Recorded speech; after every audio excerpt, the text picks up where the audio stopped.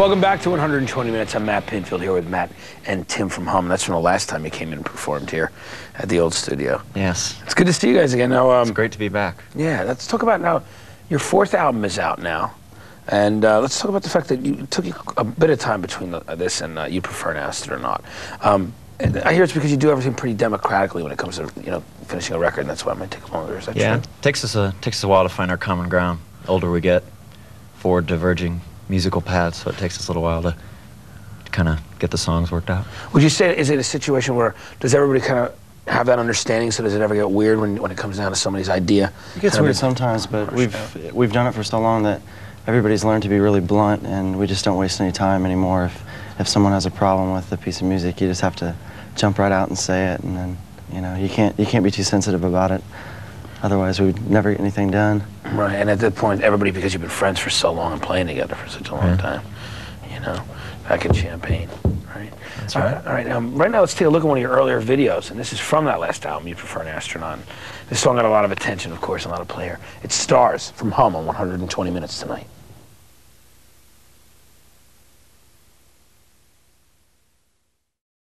I'm Matt Pinfield. I'm here with Matt and Tim from Hum.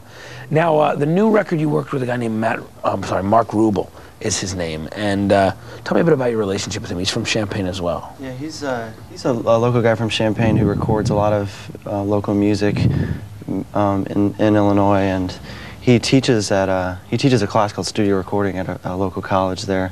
And I took that class, so I got to go check out his studio and hang out in it and learn how it works and stuff. So it's just one of those uh, situations we've we've always wanted to record with him, but just finally found the time to do it.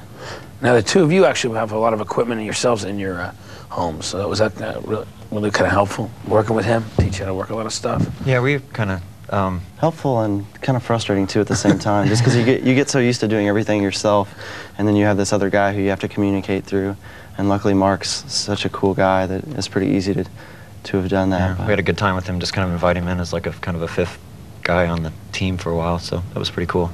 That's great. Now, you also do a lot of production uh, of local bands too, and with this studio. I do a little bit. I'm kind of new to it, but uh, but I just had always thought that um, recording music was voodoo, and I would never learn it. And then I was finally like, after making enough records, I was like, kind of want to get more control of it and kind of just learn about it. So, um, just bought a little bit of gear, and I record, you know, local bands and help them do demos. Or I've recorded a couple seven inches and stuff for some local bands. So, That's cool because it can be so expensive to record when you're starting out. You know what I mean? yeah. So it's cool you're putting something back into the musical community there. yeah. Well, it's know. there's lots of people that have done so many favors for us, and it's just kind of same thing. So it's nice to give a little back. I think that's back. great.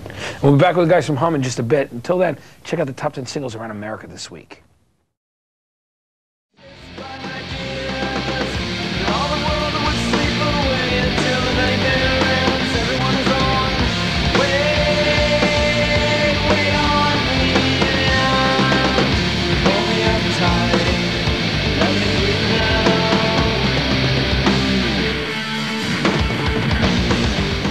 Middle of the pod right there. Welcome back to 120 Minutes. I'm here with half of Hum, Matt and Tim. Now, uh, you got uh, your own independent label called Martians Go Home, which I think is very cool. And you actually re-released Electra 2000, one of your earlier albums, the one that Brad Wood produced. He's worked with Veruca Salt. He's another local guy from the Chicago Champaign Yeah. area.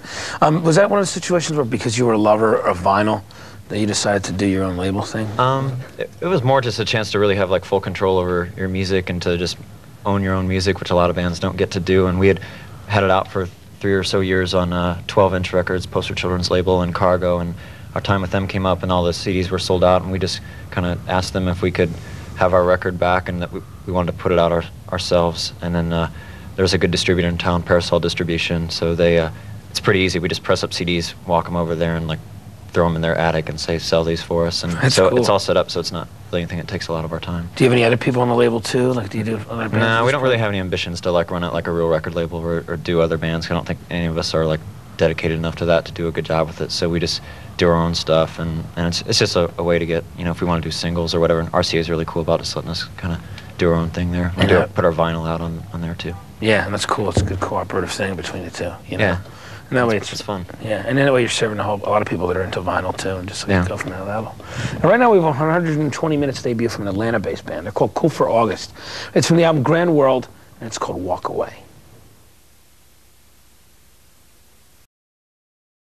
in the room here on 120 Minutes. And I'll be talking more with the guys from Hum after the break, and I'll be checking out their latest video.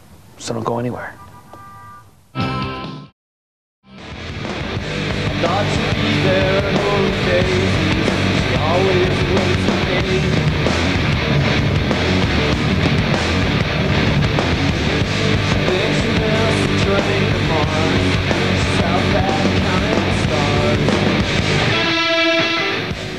Welcome back to 120 Minutes. I'm Matt Pinfield, still here with the guys from Hum, and that was from our 120 Minutes performance of Stars.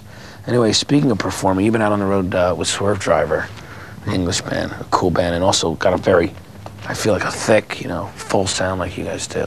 Was that a conscious decision to tour, do a tour with those guys? Um, well, there's Kind- a there's a band that we really like more than anything. I mean, we get when we wanted to tour, we kind of got you know lists of all these bands that are out on the, out on the road, and then Swervedriver wasn't on that list, and I was just couldn't find anything that I was really digging a lot. And it's always good to play with one of your favorite bands because you get to see them every night. Yeah. So we just called our booking agent and said, and I just you know I'm like I heard Swervedriver's got a new record come coming out. Call them up, see if they want to tour, and they were they were into it. So They've also done some stuff with a couple other cool indie bands, Promise Ring.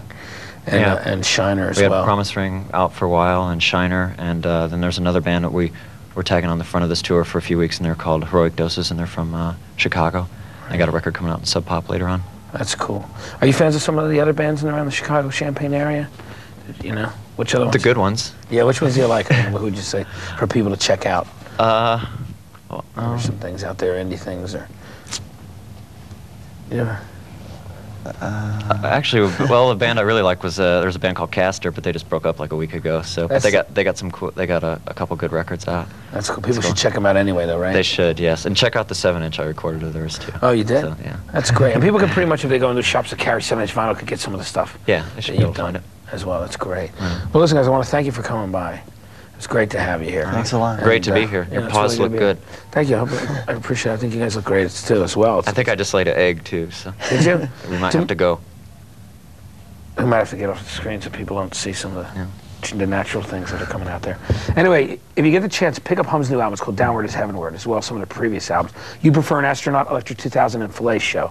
You can also catch them on tour in the coming weeks with Swervedriver. Thanks again, guys, for coming by. Thanks, Matt. It's really cool. Right now, we're going to take a look at your latest video from Downward is Heavenward. This is Coming Home.